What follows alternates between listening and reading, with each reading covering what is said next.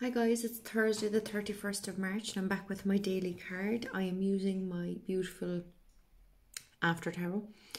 Um, as per usual, I've looked at the underneath card as well for some clarification and actually the next two cards tie in well with the message for this card for today.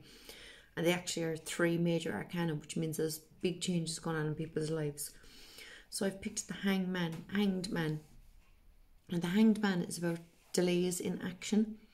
Um, according to Marcus Katz's book, this is called a stop card. So if you are thinking of like say a job, whether it's a job you're in or a new job or a move or a relationship or whatever it may be, this is a stop card. This is pausing the action in your life because it's not right for you.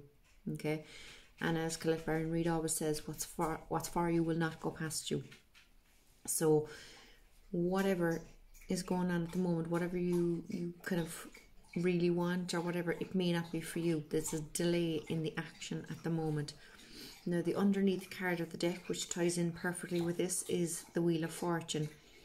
Now we all know the Wheel of Fortune, sometimes we're on top, sometimes we're falling down, and sometimes we're trying to climb our way back back up but the wheel is always turning and we will always get back up to the top.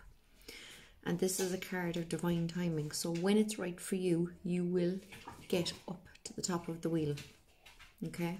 So this this delay will only be temporary but the wheel will start turning again when it's supposed to.